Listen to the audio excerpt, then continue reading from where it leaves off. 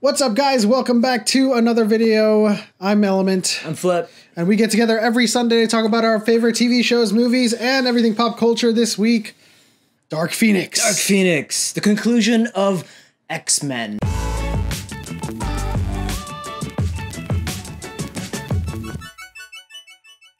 So obviously, Mm-hmm. it's over. It's over.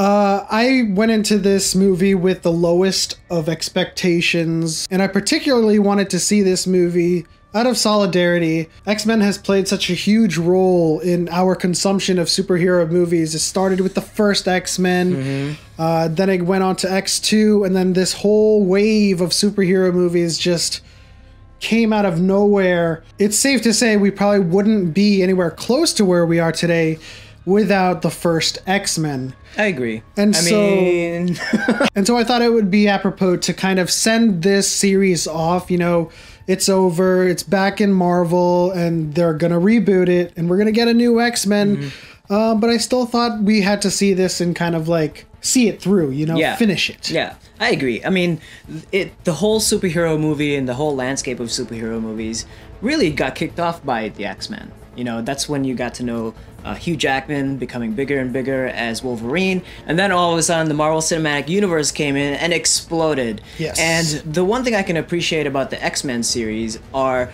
just their practical approach to a superhero movie. Uh, you know, kind of just being integrated into kind of a realistic environment or a realistic setting. And that Yeah. has always been the consistency of the X Men universe. Of course, they're done by Fox and they do it in that manner. It could almost go between PG 13 and a rated R kind of rating. Yeah. But uh, that's always been the kind of tone that they've set for this universe. Now we're just like all spoiled by this epic grand spectacle that the MC universe, Yes. you know, provides us. And when you go back and after you're watching Endgame and Infinity War, all of those Marvel movies, Nothing seems as nothing epic. seems as epic. Yeah. But that's always been the consistency of the X Men. Yeah, the X Men has always been a more intimate kind of character driven drama Yep. story. And so, what I appreciated about this movie is the performances we get from the actors. Now, a lot of the movies have been hit or miss. You know, you have your kind of outliers, which is the hmm. first X Men, X2, you have Days of Future Past, and then you have Logan. You know, a lot of these movies, and Deadpool, of course. Wolverine. Yeah, and so a lot of these movies have been kind of hit or miss, but in in just like the general concept of the X Men movies, they've always been very grounded. Mm-hmm. Uh, and I want to give a shout out to Sophie Turner, Oh, uh, very good, James very McAvoy, and and and uh, Michael Fassbender for delivering again. Like, if there's anything solidly concrete to say that's good about this movie is Mm-hmm. that they deliver on their performances. You can feel uh, Jean Grey's inner turmoil, and you can feel uh, Charles Xavier going through this like kind of guilt Mm-hmm. about what he's done in the past, and you can obviously f- always feel Erik Lehnsherr's like deep, deep rooted pain and and, and and turmoil of his past. Mm-hmm. And I think like their performances really kind of saved this movie. To be honest with you guys, like uh, this movie had its hits and misses. A lot of misses, like more misses than hits. But the one thing you can count on is that Hans Zimmer, his score and his music really, really propels this movie beyond what it would have been Yeah. without him. You know, on top of the performances of obviously Fassbender, McAvoy, and Sophie Turner, uh, those guys really just killed it. And I Yeah. totally agree with you. But I think it would have been really, really bad if it wasn't for Hans Zimmer. I, I feel like Hans Zimmer saved this movie because it, It was definitely played its role when you're Yes. trying to kind of invoke feelings.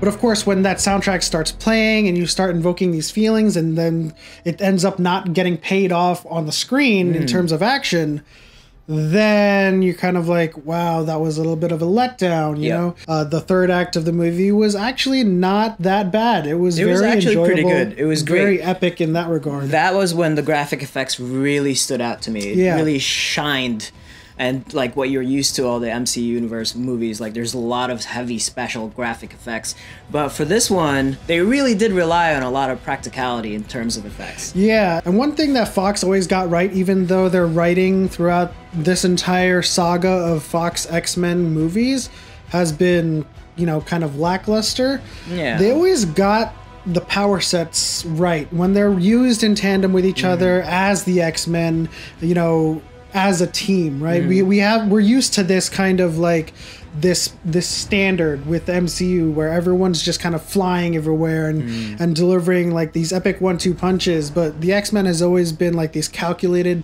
precise approaches to using their their uh, abilities mm. together as a team. Yeah, I like I think it's because because of that consistency of it being grounded, you're not expecting like this big epic scale of super powered mutants or super powered superheroes. If I was uh, Cyclops, you'd be like you'd be taking down satellites out of orbit. That's just my take on what it might be on the MCU. but in any case, I think we all have different takes on what this movie did to us. Um, what did you think of this movie? What, what would you grade it as? Um, I would probably grade it a solid B. B. Okay. Yeah, because you know, at the end of the day, it was over with mm-hmm. this with this franchise, and I knew that, and I went in there, you know, as I said, out of solidarity, let's just see it through. Yeah. Um, but you know, I ended up walking out not disappointed. You know, Okay. I was I was I enjoyed it.